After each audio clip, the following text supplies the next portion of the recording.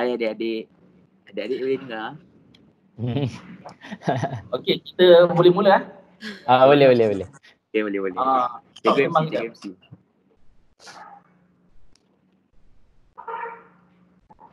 Cuba cuba. Dengar eh, dengar.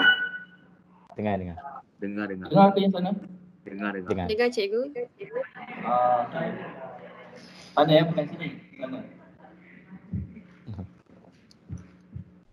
Okey, Assalamualaikum warahmatullahi wabarakatuh. Okey, hari ni kita bertuah eh. Uh, kita dapat uh, buat sesi live dengan senior-senior kamu. Ada tiga orang yang sebenarnya ramai. Tapi hari ni kita dapat tiga orang lah. Okey, uh, kita ada Ilham, Syarafi dan juga Anisha. Okey, so hari ni mereka akan sharing tentang tentang apa agak-agak? Rahsia kejayaan. Rahsia kejayaan kan? Ha, boleh lah juga kan? Tapi mostly yang pentingnya adalah uh, mereka akan share tentang bagaimana uh, tips lah eh? uh, interview scholarship. Sebab zaman orang ni, orang interview scholarship online kan? Uh, so berbeza.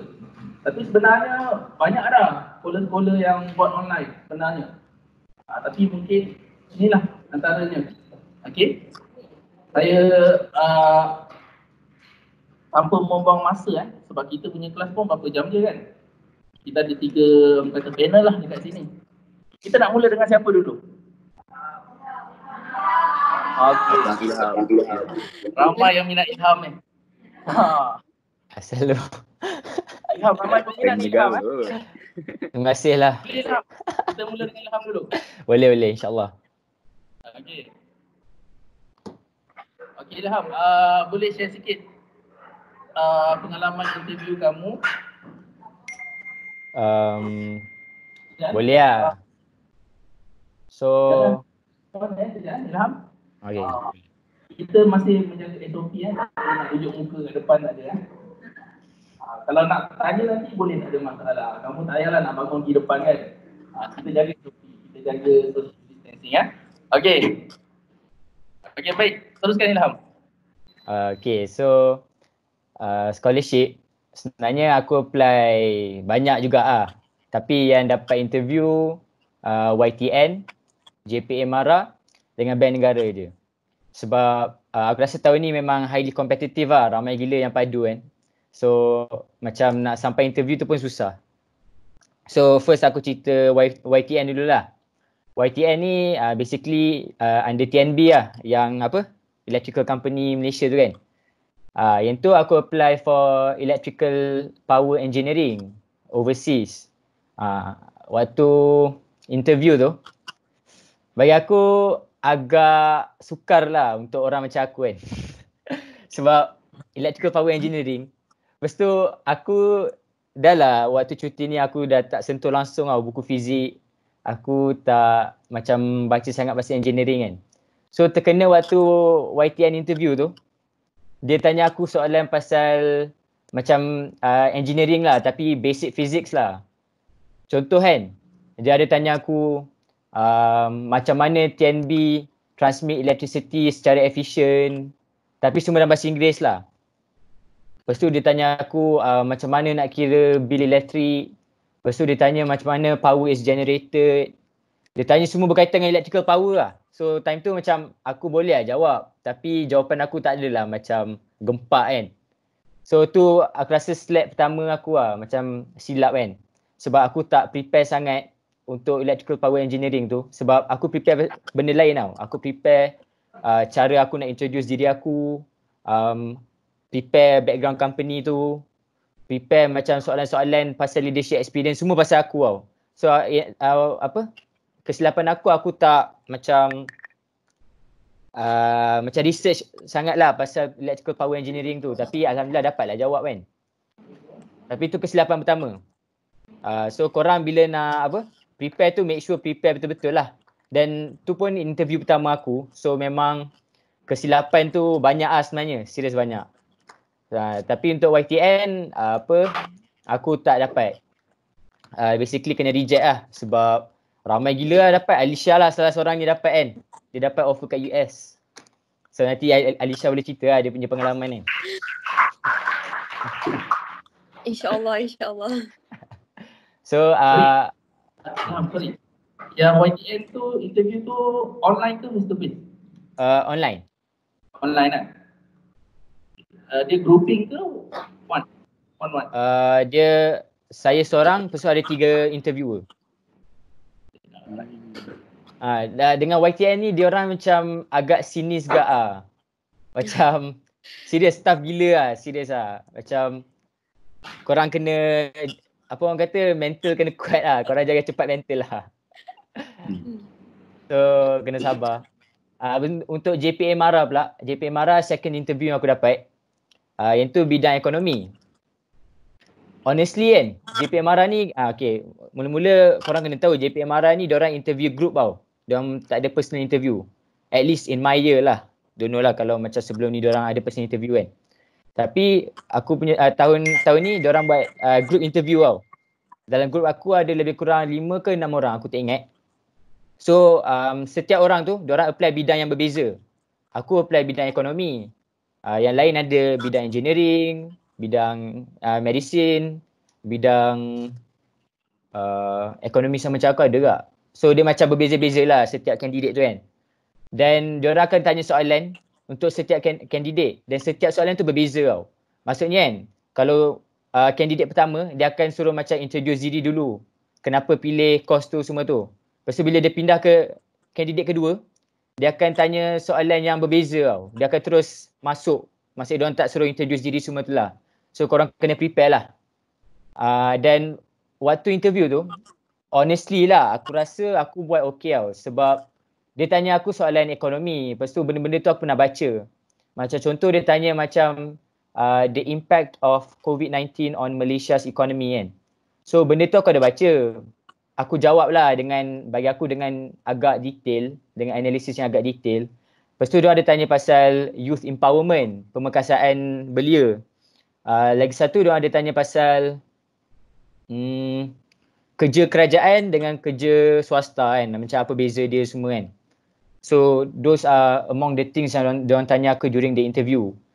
Tapi um, sedihnya aku tak dapat secure JPA Mara maybe ramai kandidat yang dia orang hebat dan dia orang lebih memerlukan so aku bagilah macam aku macam tak kisahlah kan macam tak apalah kan bukan rezeki kan so uh, tu second interview aku Third interview aku dengan band negara. So band negara ni diorang agak tough gak ah, memang sangat tough.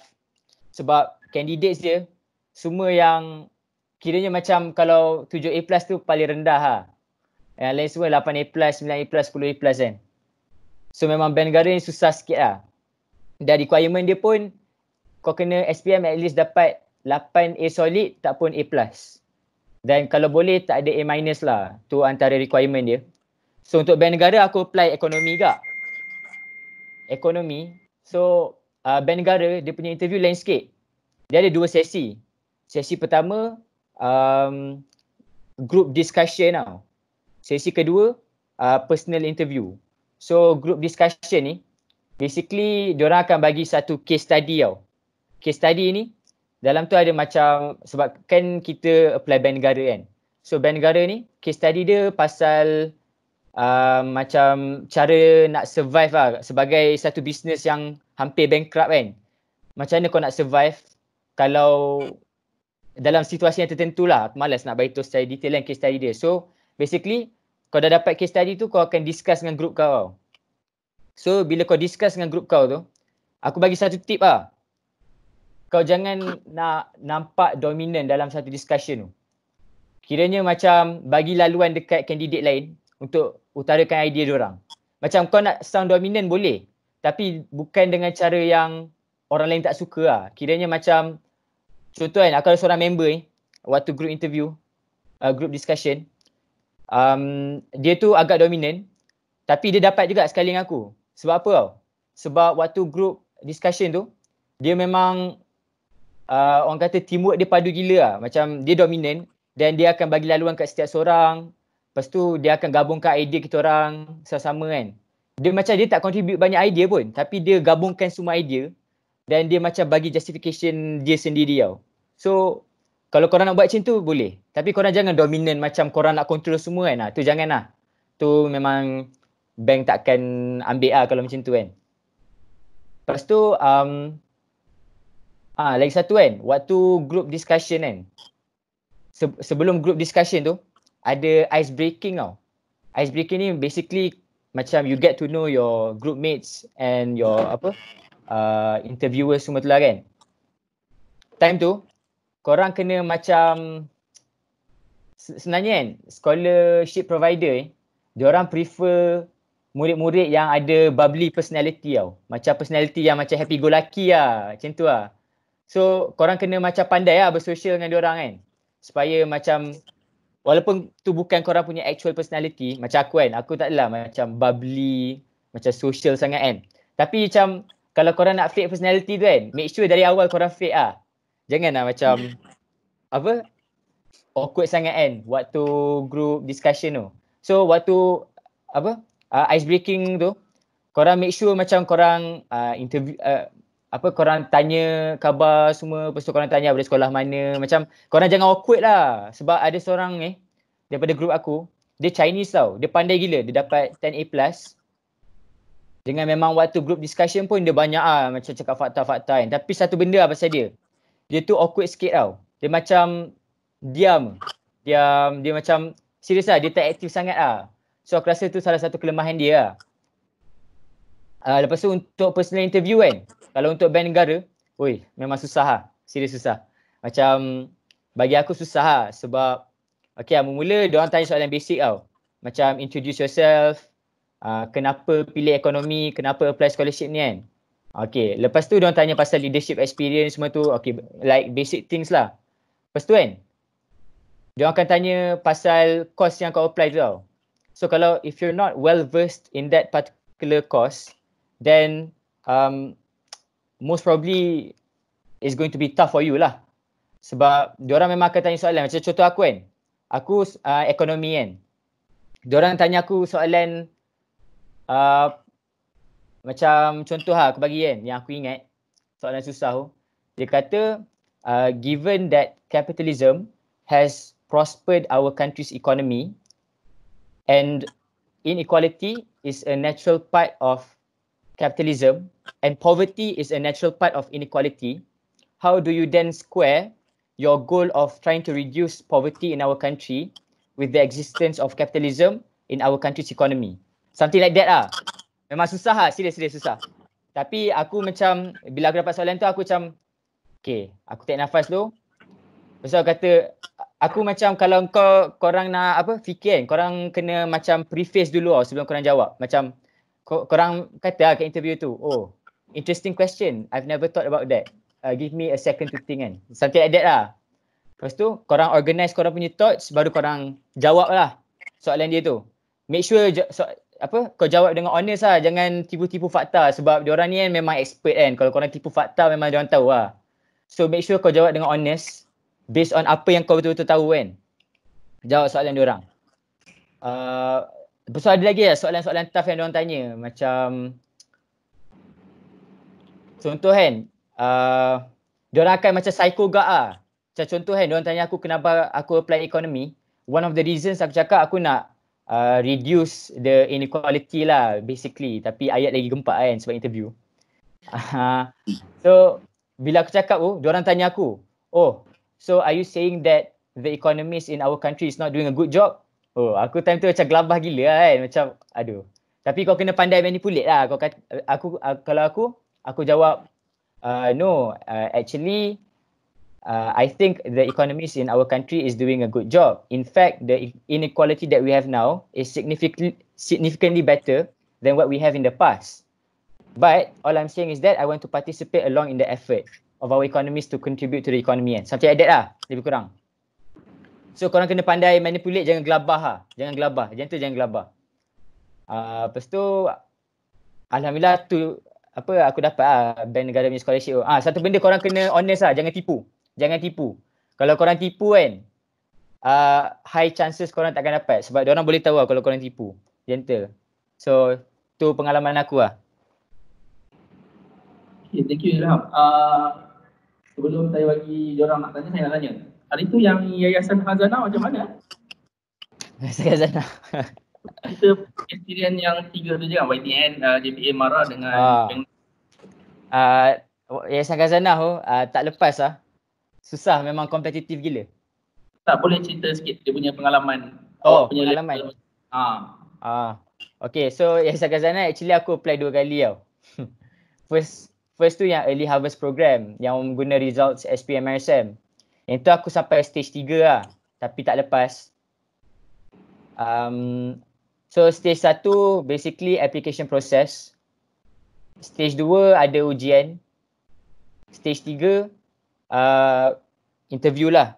Macam group interview dengan personal interview. Tu untuk early harvest. Lepas tu lepas SPM aku apply lagi. Kali ni dia punya stages tu lain sikit. Um, application process tu is not part of the first stage lah. First stage tu uh, dia orang akan bagi soalan matematik kot, matematik dengan um, bahasa Inggeris. So uh, matematik tu bagi aku tak ada tak ada susah sangat. Yang bahasa Inggeris tu susah agak ah sebab masa dia bagi is very limited and you have to read like very long paragraphs and you have to comprehend and answer the question based on that paragraph which is very hard because the time given is very limited and the questions that you have is more than the time that is given. So memang kau kena aku jawab tak habis pun tapi stage satu aku lepas lah. Maybe sebab mathematics dapat jawab semua tak tahu lah kan. Lepas tu stage 2 macam personality or psychometric test lah. Yang tu aku tak lepas tau. Aku tak tahu sebab apa. Maybe aku punya personality, psychometric aku tak sesuai dengan apa Hazanah nak. So aku tak lepas. Uh, stage 3 boleh tanya Alisha. Sebab Alisha yang this year punya dia lepas sampai stage 3. So you guys can ask her lah for any tips. Okay, thank you Ilham. Sebelum kita beralih kepada panel seterusnya, ada soalan tak nak tanya Ilham? Ah, bakal-bakal student tahun depan. Ada ada soalan nak tanya Ilham? Ah, Emily tak ada, Emily. Ah, tak ada soalan. Tanya je. Tak payah malu lah. Main main sini. Tak nampak. Bagus, bagus.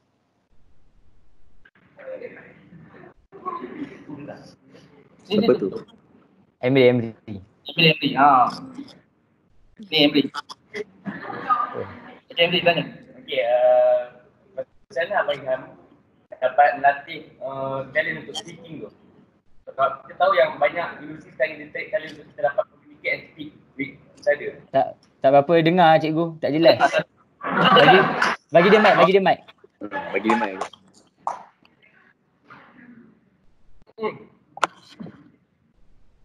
Test, test, dengar. Test, test. Awak dapat sikit. Dengar tak? Dengar dengar dengar. Okay. Macam mana Abang Ilham dapat uh, macam mana Abang Ilham dapat uh, pupuk ataupun latih talent Abang Ilham untuk speaking because yang kita tahu sekarang ni universiti memang cari uh, talent untuk communicate and social with each other. Oh. Aha. Okay. Dapat Ilham? Uh, dapat dapat dapat. Alright. Uh, soalan yang agak bernas daripada individu yang kacak eh. Okay. So uh, untuk speaking kan. Macam ni lah aku cerita eh journey aku dalam speaking. Pendek lah sebab nak bagi Alisha dengan Syarafi cakap juga kan. Sebenarnya um, macam aku, aku macam I started to speak in English when I was form 4 tau. When I initially entered MRSM Pasir Salak. When I was form 3, eh form 1 until form 3 kan. Aku I didn't speak a lot of English.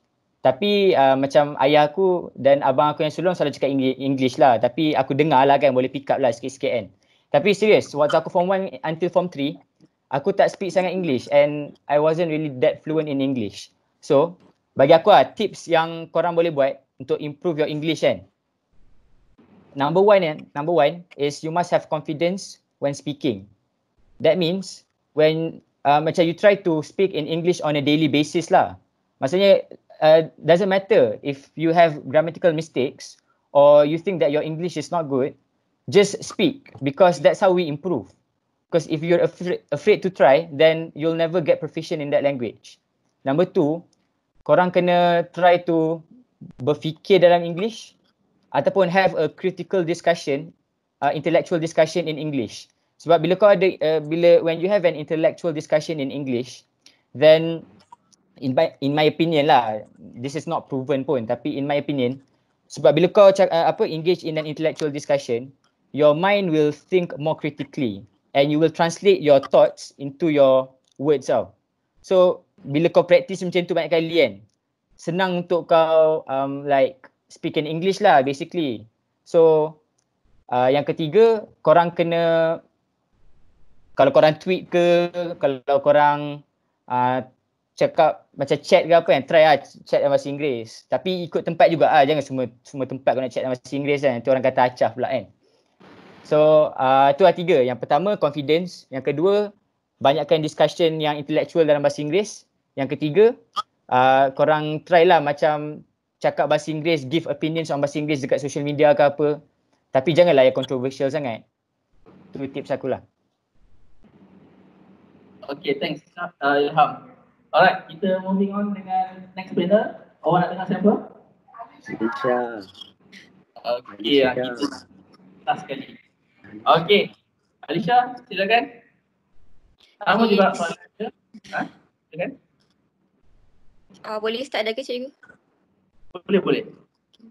Okay, Bismillahirrahmanirrahim. Assalamualaikum warahmatullahi wabarakatuh. Pertama sekali saya nak ucapkan terima kasih kepada Cikgu Ilyas kerana telah memberikan peluang kepada saya bercakap hari ini.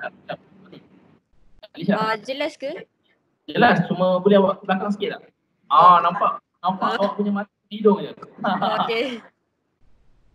Alright, okay. Uh, uh, terima kasih juga kepada adik-adik kerana sudi hadir mendengar perkongsian kami pada hari ini.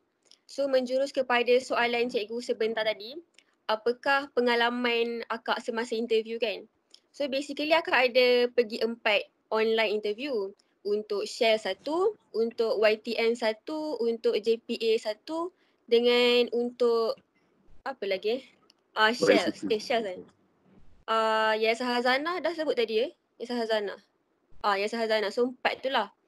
So first kali akak pergi untuk Shells. Yang Shells tu dia macam dia bukan ada panel tau kat situ.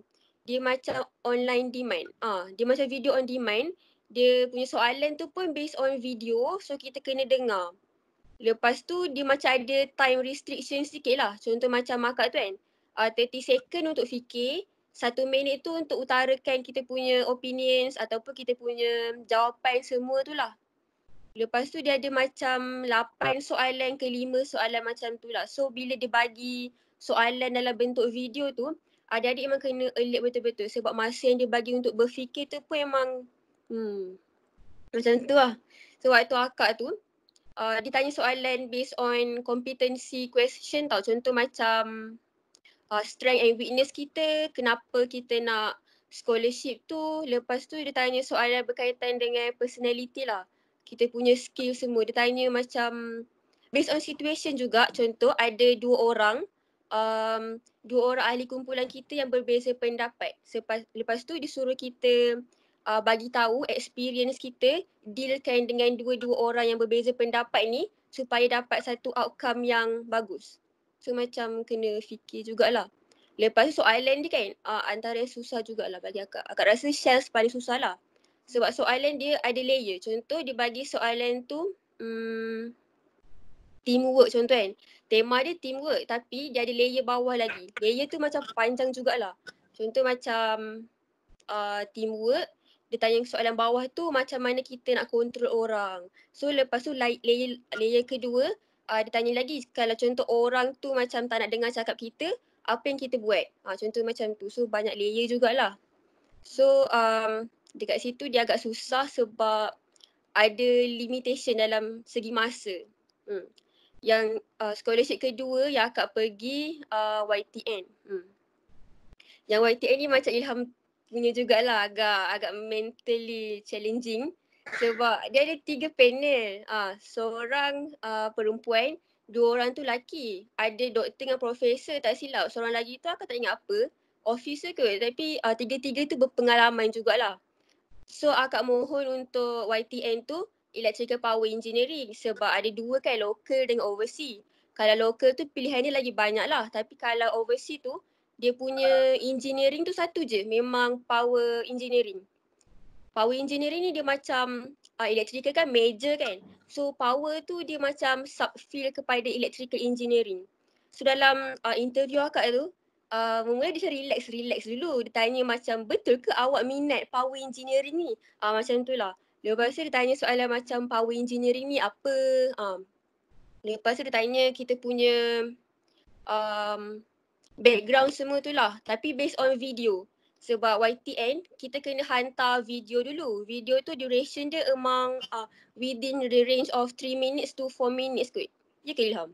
Uh, macam tu lah kena uh, video tu kena buat based on soalan yang dia bagi. Soalan yang diberi tu tema dia uh, background family kita, tentang diri kita, uh, curricular activities di sekolah, kenapa kita nak scholarship tu dengan why do I deserve the scholarship. So dalam duration 3 minit tu kena kompreskan semua jawapan adik-adik lah kat situ. Uh, dan waktu akak jawab soalan interview tu, soalan yang ditanya pun based on yang tu juga. Eh antara soalan mencabar, uh, tanya pasal general question lah, general knowledge question. Contohnya kan, yang susah sikit dia tanya, uh, kalau Malaysia nak install nuclear power plant, susah ke tak? Ha macam tu.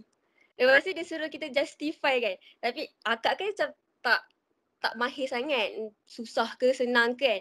So akak macam manipulate jugalah kat situ akak cakap lah uh, bagi akak uh, nak install tu maybe senang lah tapi tengok kepada efek dia. Ada uh, pros and cons kan kalau pros dia maybe macam jimat sikit lah dapat kurangkan penggunaan petroleum kan. Tapi kalau pada segi cons dia lagi banyak. Contohnya macam dapat melahirkan bayi pramata yang kecacatan mental, ada neurological problem semua tu kan. So agak macam justifikan kenapa tak perlu install uh, power plant yang berasaskan nuklear. So um, interviewer tu macam dengar jugalah oh, betul juga budak ni macam tu lah. Lepas tu soalan lagi dia ada tanya tentang uh, general knowledge tapi based on uh, kita punya video tu. Macam akak, akak ada masukkan tentang satu akta ni tau. Akta uh, kenapa akan nak um, apa tu kenapa akan minat dengan uh, bidang power engineering tu kan akak ada kaitkan dengan satu akta ni. Akta ni dia macam nak mengurangkan pembebasan karbon dioksida lah dekat udara. And uh, orang tu tanya berdasarkan akta tu berapa percentage sekarang karbon dioksida dekat dalam dunia ni. Uh, so akak macam uh, tapi kalau kalau adik-adik tak tahu macam akak akak macam takut nak tipu. So akak cakap je, uh, sorry sir but actually I have problem with numbers. So I don't know the exact amount of carbon dioxide being released to the air. Ah macam tu. So dia orang macam saya senyum gelak-gelak je lah tapi tak ada apa pun. Tapi ada juga soalan cepu mas yang dia tanya. Sebab YTN ni dia macam nak uji kita punya mental dan psikologi sebenarnya tau. Macam akak dia tanya tau. Um, ha kamu ada mohon ke apa-apa scholarship lain? JPA marah ke JPA?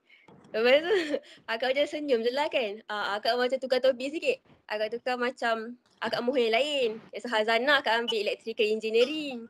Uh, Shells electrical engineering. Yang lain pun electrical engineering. Tapi ada seorang profesor yang tua-tua ni, dia ingat lagi soalan tu. Dia tanya lagi sekali, uh, awak mohon apa? JPA marah ke JPA? Bidang apa? Lepas tu, agak pun jujur je lah kan. Uh, saya sebenarnya mohon uh, perubatan. Lepas tu semua macam, ha, mohon perubatan. Bukan yang electrical. Lepas tu, uh, tapi kadang situasi macam tu, korang kena relax. Uh, macam akak akak senyum je, senyum-senyum semua tu kan. Lepas tu akak cakap lah sebenarnya bukan saya nak pun. Mak saya suruh. Ha, lepas tu saya nak electrical engineering. Lepas tu korang kena convince kan kenapa. Macam akak, akak ada macam uh, bagi tahu pros and cons setiap satu tu. Contoh macam JPA kan kena ada bayaran kan based on percentage kalau kita kerja GSC, company ataupun government ataupun private. Tapi kalau yang YTN tu dia fully uh, scholarship dia macam kita on full ride scholarship lah tak perlu bayar apa-apa ada allowance lagi semua tu kan. So bila akak cerita tu dia orang macam okay macam diam balik lah. Uh, lepas tu uh, satu lagi kan um, akhir interview tu ada sesi soalan. Waktu sesi soalan tu akak macam senaraikan lah semua soalan yang akak nak tanya kan. So akak ada tanya interviewer tu jugalah tentang uh, PPOU dengan PPS. PPOU tu program persediaan untuk luar negara macam akak akak dapat PPOU ke US kan. So setahun jugalah. Ah, setahun tu di Malaysia. Kalau PPES tu pula dia macam setahun di Malaysia dah sambung di Malaysia juga sebab dia lokal. So akak tanya soalan based on tu. And then akak tanya juga soalan tentang internship. Hmm. Internship tu kalau contoh belajar kat luar negara, so internship tu di mana sama ada di Malaysia atau luar negara macam tu kan. Lepas tu kat situ pula, akak kan mohon Germany. Ah, akak mohon Germany tau, bukan US sebenarnya. Lepas tu, uh, interviewer tu tanya akak, kenapa ambil Germany? Lepas tu akak cakap lah, Germany tu sebab dia punya practical skills dengan practical um, hands-on activities dia lebih banyak. Uh, lebih menjurus kepada hands-on. Lepas tu, uh, panel tu kata kat akak macam ni. Uh, memanglah macam tu. Tapi you tahu tak masa dia belajar lama. Uh, lebih panjang daripada orang lain. Sebab masters dekat Germany tu sama level dengan ijazah pertama dekat Malaysia. So maksudnya kalau kita nak uh, belajar master dekat luar negara tu yang Germany, sambunglah sampai 6 tahun semua tu bila balik kat Malaysia level kita sama taraf je dengan first degree orang Malaysia. So macam tak berbaloi jugalah. So sebab tu uh, panel tu waktu akak dapat result dia bagi US kot. Hmm. Dia bagi US sebab yelah masa dia pendek sikit. Lepas tu akak ada uh, interview JPA lagi. JPA tu asalnya akak mohon dua. JPA MARA dengan JPA program khas lepasan SPM dalam negara. JPA ada, ada dua uh, kategori yang untuk total 9A plus dan ke atas. Satu lagi untuk 9A. Kalau 9A plus tu dia ada dua cabang. Satu PPN. PPN tu program penajaan nasional. Dia dekat luar negara lah luar negara tu pula dekat top 20 universiti yang ada top tier kat seluruh dunia lah macam MIT, macam Oxford, Cambridge semua tu kan. Lepas tu kalau program khas lepasan SPM dalam negara, dia untuk dalam Malaysia. Tapi kita boleh pilih mana-mana bidang, boleh pilih mana-mana universiti yang kita nak. Tapi yang telah di-approve oleh JPA lah. Uh, yang untuk 9A, ada JPA MARA dengan JKPJ. Uh, ini akan nak sembang sikit lah. Kalau JPA MARA, dia macam akak tak kata senang tapi akak rasa dia macam sesuai untuk golongan bumi putera. Macam JKPJ, uh, Jepun, Korea, Jerman, Perancis semua tu kan. Uh, dia macam ada gabungan dan Malay macam Chinese, Indian, dia kan macam padu-padu juga kan. So persaingan tu macam lagi tinggi. Hmm, kalau JPA marah, kita sesama kita je Melayu. So sebab tu akak tak ambil JKPJ, akak ambil uh, JPA marah. And waktu interview tu pula, akak interview untuk batch um, program khas lepas SPM dalam negara. And dekat situ, akak kan tak biasa kan dengan nama Malay semua tu. So dapatnya turn akak uh, dalam satu app ni, uh, kita orang punya interview dalam satu app tau nama dia WebEx. Betul ke? WebEx. Betul ke? Ah, uh, betul. Ah, uh, WebEx tu uh, akak seorang je Melayu. Yang lain tu semua macam nama Malay. Ada Chinese, ada Indian, So soalan tu pula dia menjurus kepada bidang perubatan jugalah. Mula-mula kami diberi peluang untuk perkenalkan diri tau. Macam simple-simple je. Nama, um, bidang yang dipilih, negara mana. Eh negara tak kot. Ah, negara tak rasanya. Ah, lepas tu dulu sekolah mana, result berapa A. Yang lain tu, ah, akak ingatkan 9A plus tau. Rupanya dia orang 10A plus, 11A plus macam tu. So pesannya kat situ lagi tinggi lah. Hmm. So akak seorang je yang macam result paling uh, agak agak rasa macam hmm, tension sikit lah tapi kena bersaing juga kan. Uh, lepas tu satu lagi yang semua tu pilih perubatan. Semua perubatan, semua medik. Ada seorang kot Chinese yang ambil pharmacy. Tapi semua tu memang medik lah. Uh, so bila nak jawab soalan pun ada dua. Uh, dalam sesi bahasa Melayu dengan session bahasa Inggeris. Kalau bahasa Melayu ni based on kepada diri kita, bidang kita, semua tu lah. Tapi dalam bahasa Inggeris pula, dia akan tanya tentang current issues. Macam akak tanya tentang yang berkaitan COVID-19 lah. Uh, Science and Technology berkaitan dengan COVID-19 tema dia. So kami diberi peluang untuk jawab. Tapi secara bersaing macam tu. Kena rebut peluang lah siapa dapat uh, jawab dulu, siapa dapat jawab yang last sekali. Macam akak akan dapat last sekali. So ada masa sikit lah untuk kumpul dan organize akak punya talk sikit kan. Uh, and then seluruh uh, interview session tu dirakam. So kalau adik-adik macam uh, nervous ke apa ke jangan tunjuk. Uh, jangan tunjuk. adik macam relax je sebab seluruh tu dirakam. So dia orang boleh tengok balik, dia orang nak nilai balik kan. So kalau dia nampak adik-adik macam relax semua tu, maybe peluang tinggi jugalah. Ha. Lepas tu, uh, dalam interview, kalau setiap interview tu adik-adik kena pastikan adik-adik ready daripada segi masa, tak ada buat benda lain masa tu kan, tak ada multitasking ke apa ke, uh, tempat sesuai, lighting semua okey, technical pun okey. Macam akak, technical akak macam problem sikit waktu tu. Sebab dia ada suruh kita masukkan uh, IC number untuk akak punya nama tu kan, tak boleh tak nama sendiri, kena tak IC number. Lepas tu akak tak tahu, akak masuk je dengan nama akak kan. Lepas tu dia bagi peluang keluar balik tapi akak dah keluar dah tengok YouTube lagi. Tak boleh nak tukar kepada nombor IC. Lepas tu akak masuk balik dia kata dia bagi 5 minit je. Lebih 5 minit tu dia akan tolak akak. Ha, macam tu. So akak pun macam tanya balik kat dia kan macam mana nak uruskan teknikal tu. Rupanya kena log out dulu. So akak pun log out apa semua lepas tu baru masuk. Tapi okey lah waktu tu. Hmm. Ah, lepas tu korang punya nama tak akan disebut sepanjang interview tu. Mereka akan sebut korang punya empat digit terakhir dekat nombor IC. So korang kena betul-betul alert. Ah, serius kena alert. Kalau dia sebut je nombor tu kan kena terus um, respon lah, respon. Ah, lepas tu akak ada ah, yang seterusnya akak ada interview Yaisa Hazanah. Yaisa Hazanah ni dia punya bentuk dia competency based question. So dia punya soalan tu menjurus kepada experience kita yang lepas-lepas tapi yang berkaitan dengan skill. Ah, contohnya macam ah, pernah tak buat teamwork skill sebelum ni? Ah, apa contoh ah, macam tu? So akak cadangkan kepada adik-adik kalau dapat je uh, tema competency based question, adik-adik sediakanlah satu buku. And uh, salin je soalan pada internet kan. Contoh macam apakah uh, biggest weakness adik-adik, apakah uh, the biggest um, biggest strength of uh, of yourself? Semua tu kan adik-adik senaraikan.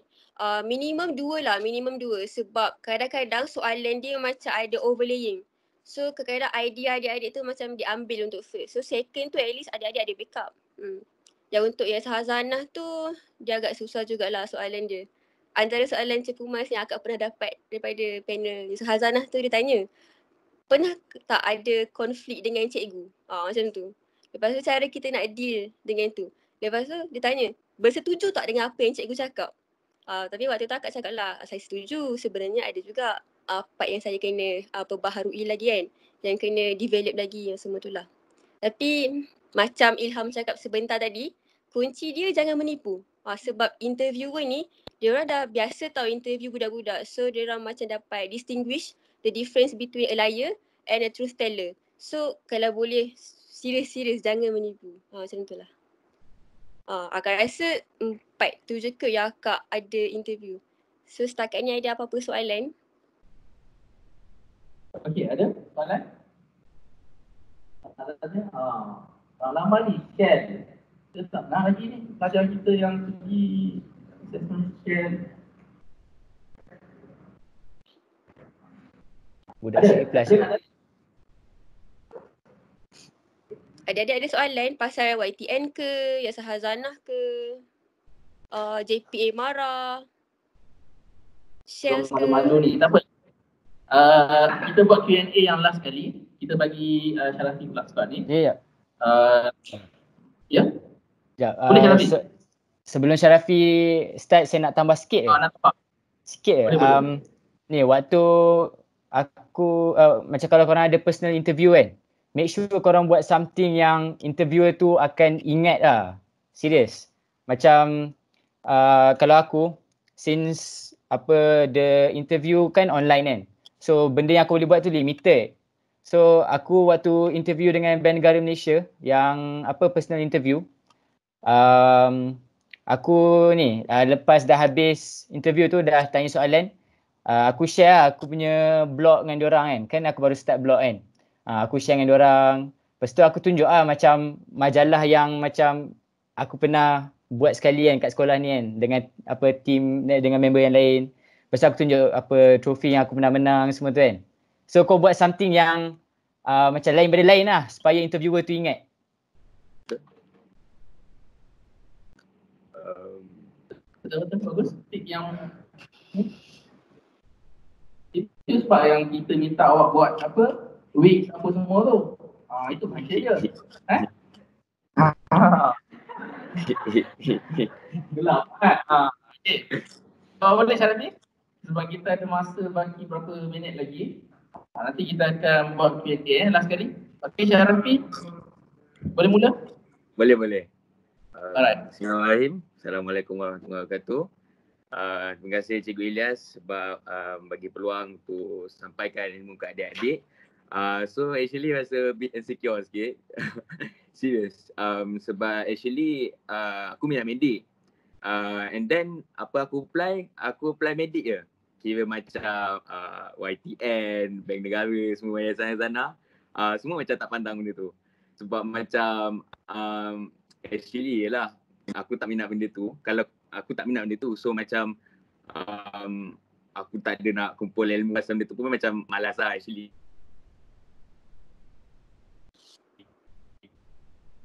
Uh, lag.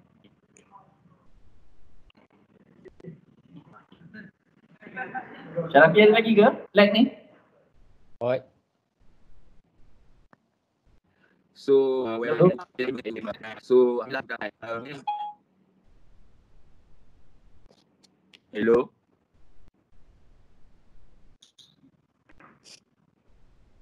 Syarafi line awak kurang baik lah. Line awak ke line saya ni? Uh, line dia kot? Ha kan? Uh, yang lain semua okey kan? Boleh dengar kan? Okey je. Okey cikgu. Uh, so Syarafi. Uh. Ingatkan saya duduk kampung Gajah Ayam ni. Cikgu, cikgu pergi ke awan lain dulu. Saya cari line baru. Jadi line baru. Okey tak apa. Kalau kita Miss Syarafi, Okey okey. kita mungkin ada next session kan esok ada ni kan. Ha, tak apa, Syarafi ni dulu alright. Ada nak tanya Ilham, Alia, ada apa-apa? Syarafi dia punya line kurang baik sikit. Ah, boleh boleh. Bro, boleh boleh tanya.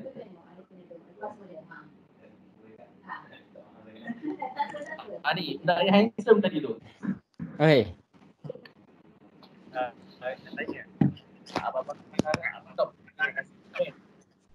Kurang dengar. Korang dengar okey. Uh, kuat sikit. Apa abang, kakak-kakak kan uh,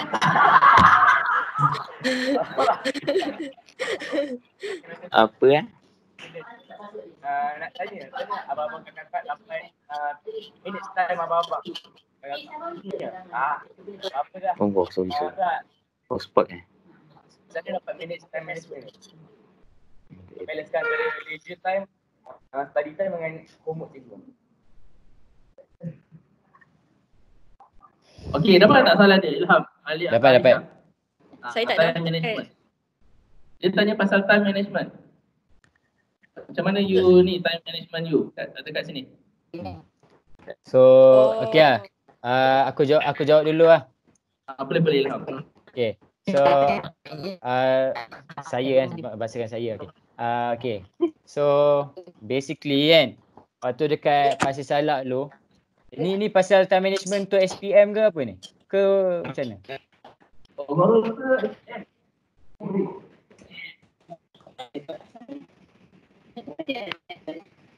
SPM, SPM. Sebab diorang SPM. tengah dekat SPM. Okay. Diorang rasa masa diorang singkat dah. Okay. So sebenarnya macam ni. Kalau untuk time management kan Kalau personally Aku kan Time management aku barai gak ah. Sebab aku tak ada macam Jadual ke apa ke Benda yang fix kan. Jangan contohi eh Jangan contohi. Serius jangan. Tapi kan Macam kalau aku Macam since aku tak ada jadual kan uh, Aku make sure yang macam Bila riadah tu Turun main Bila prep tu uh, Try lah buat homework semua tu kan. Lepas tu dalam kelas pun fokus. Dia macam jangan banyak sangat main tu macam contoh kan kalau kat asrama kan hari Sabtu kan. Um, lep, macam kalau tak ada kelas ke apa kan janganlah macam lepak je buat something produktif lah. Kalau korang tak nak belajar pun kan at least baca lah news ke articles ke apa kan.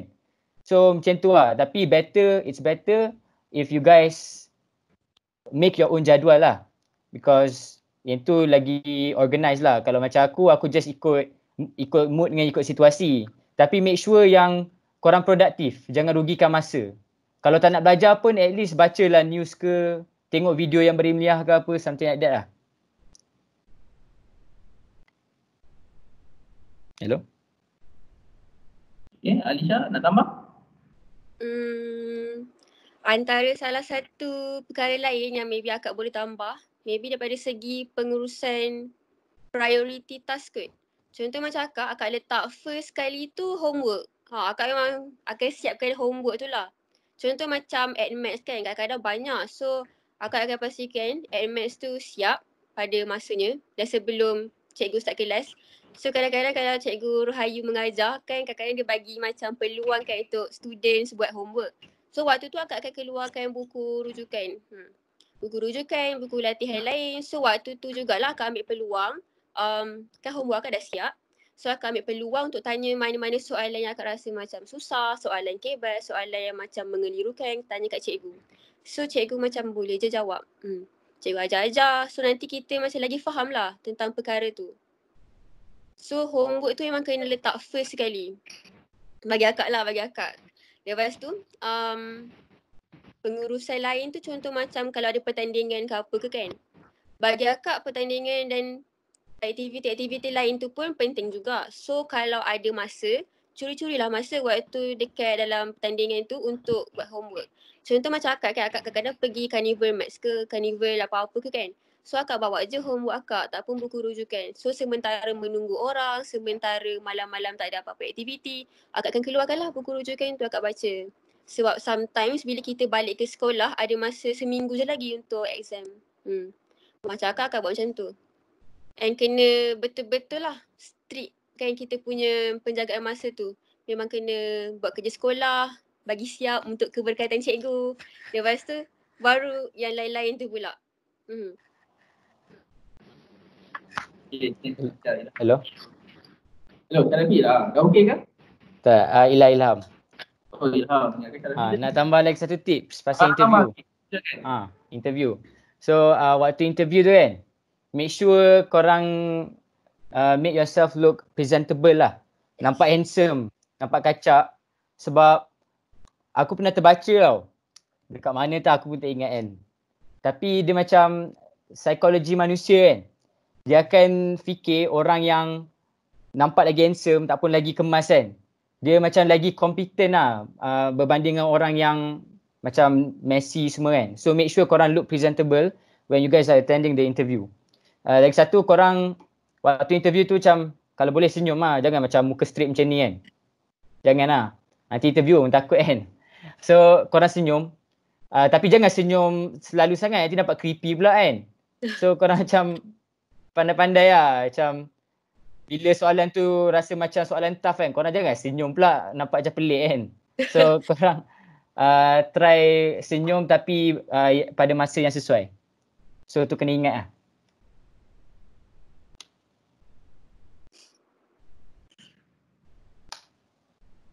Okay. Ha. Banyak tips ni. Ada lagi? Nak tanya? Hmm, Cikgu kalau saya nak tambah sikit ya? boleh? Ah boleh.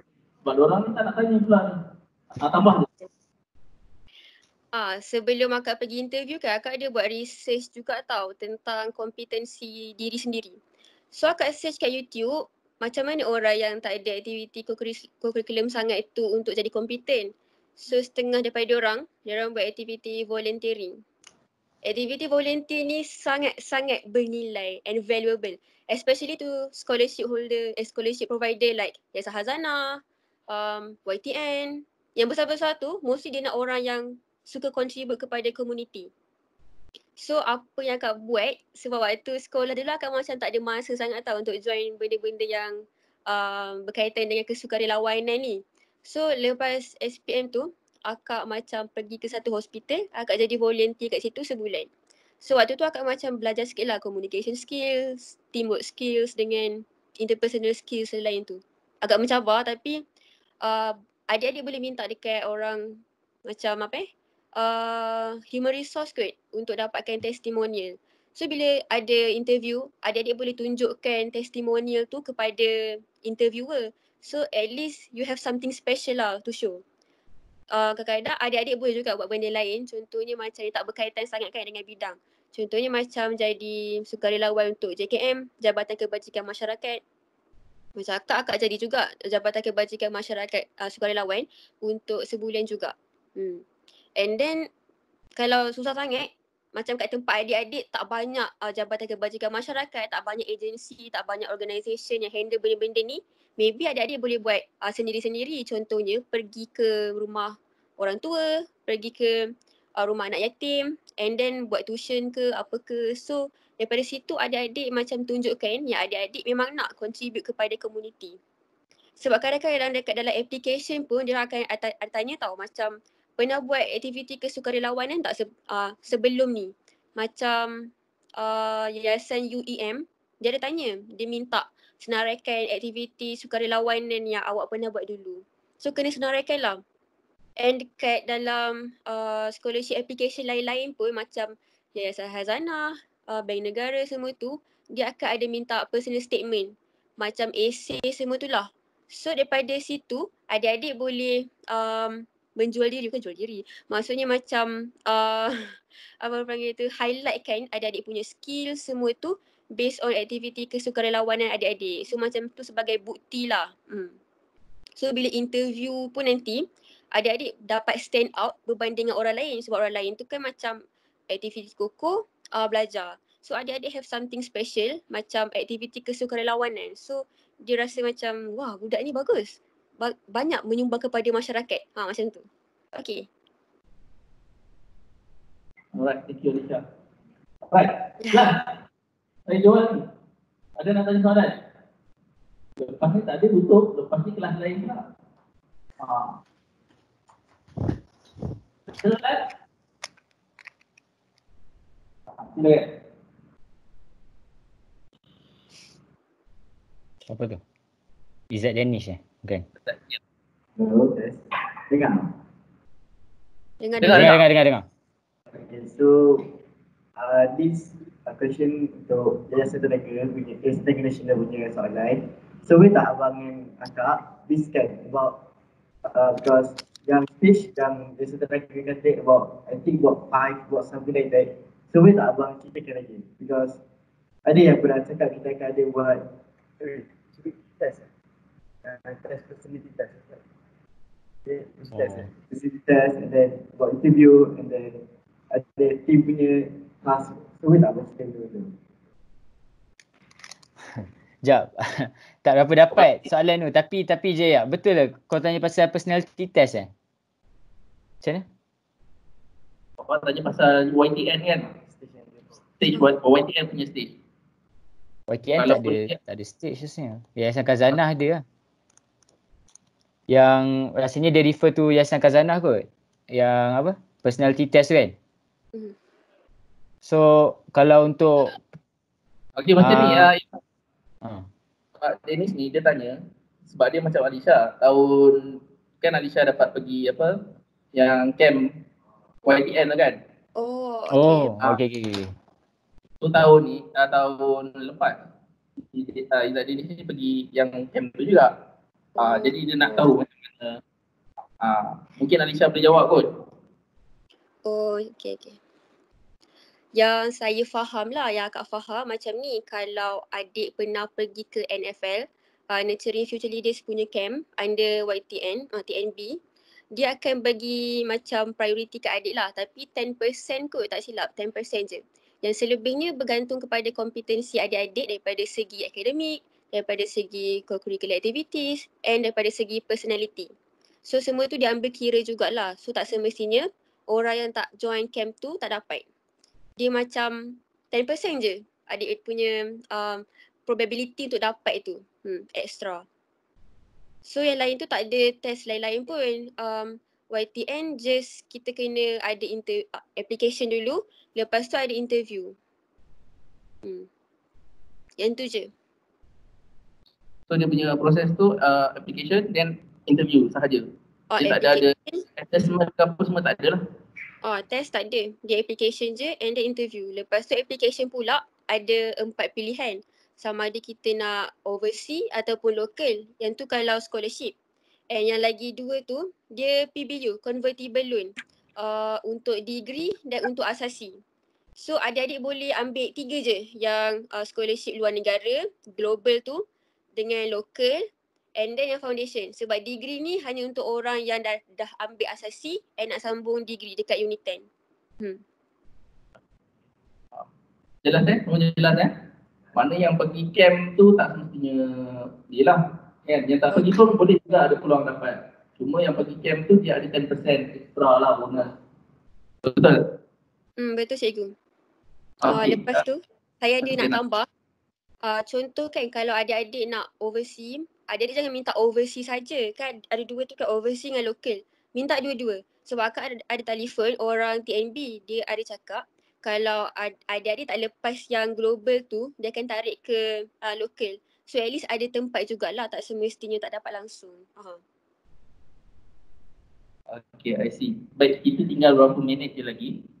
Uh, saya nak share uh, video yang sempat dibuat oleh rakan-rakan kamu juga yang tak dapat uh, join di session lah. Hi everyone, I'm Mira I'm Syifa. and sekarang kita orang berada dekat College Mara Mara Banting. So Alhamdulillah kita orang dapat tajak daripada Mara iaitu Young Talent Development YTP dan ditempatkan di sini diploma untuk persediaan keluar negara insyaAllah dan hari ni uh, maaf kita orang tak dapat join live Mm-mm. um, Sorry kita orang dah ada start program hari Isnin tu. Uh, kita orang akan share sedikit pengalaman kita orang semasa interview online semasa PKP ni dengan JPA. So first kali kita orang cakap pasal kriteria untuk scholarship tu. So macam kita orang under YTP. So YTP ni dia punya uh, kriteria dia paling minimum setakat yang tengok 7A. Tapi nanti korang kena tengok jugalah korang punya kriteria takut dia berubah kan.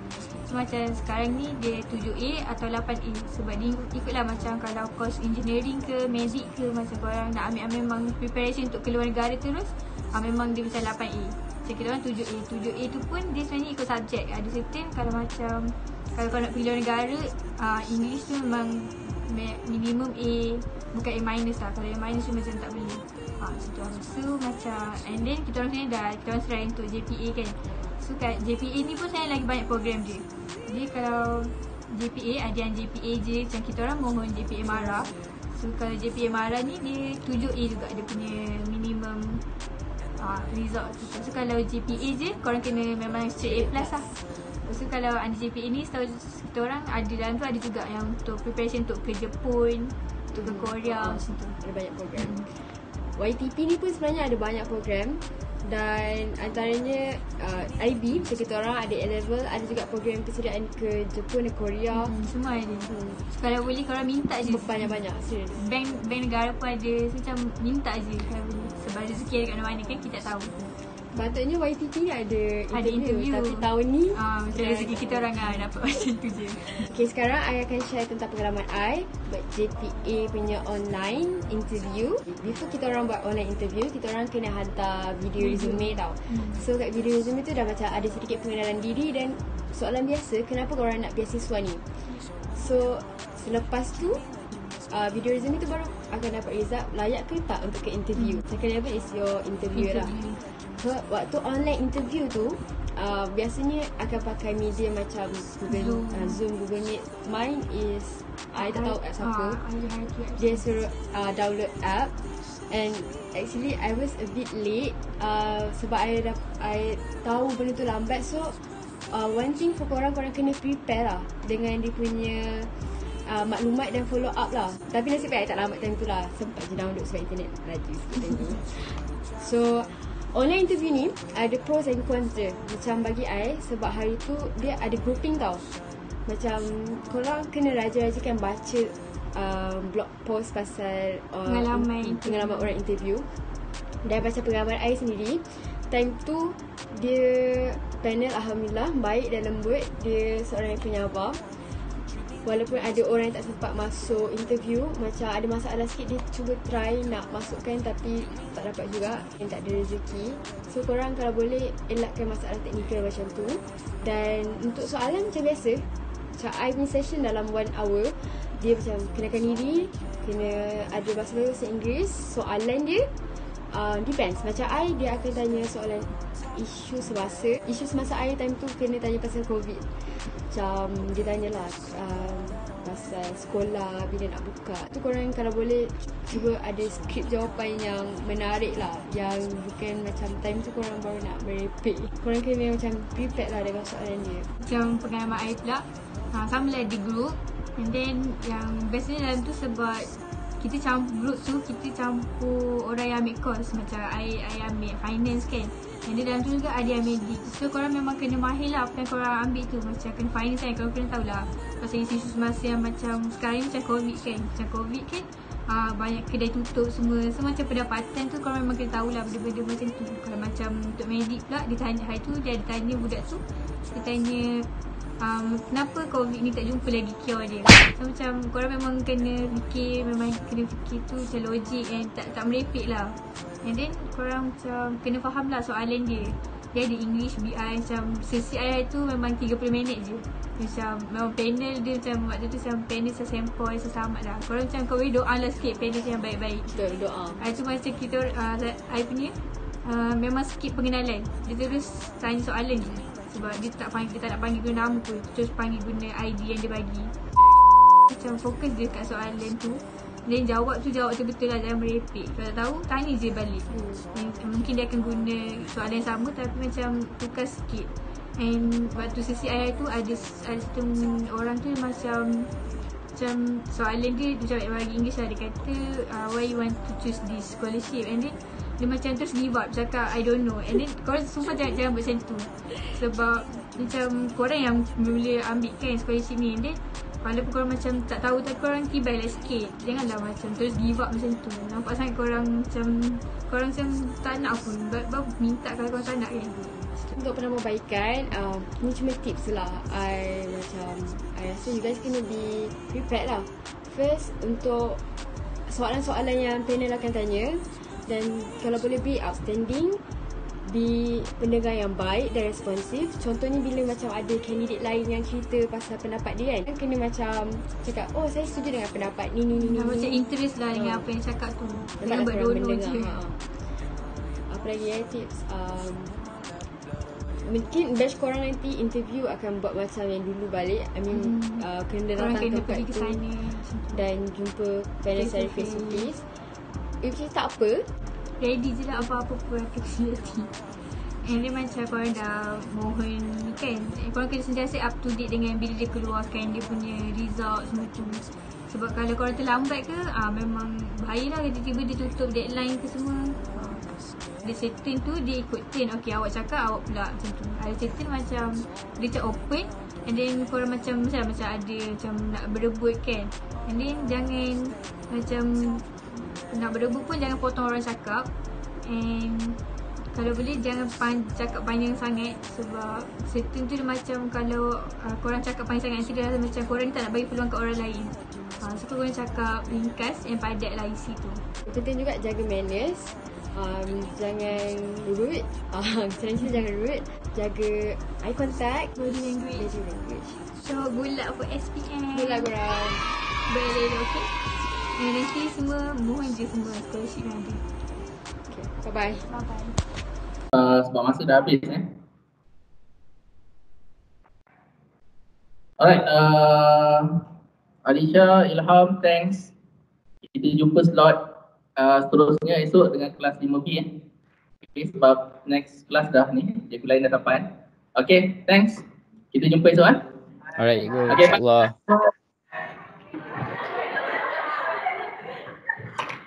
Okay, Assalamualaikum warahmatullahi wabarakatuh. Waalaikumsalam.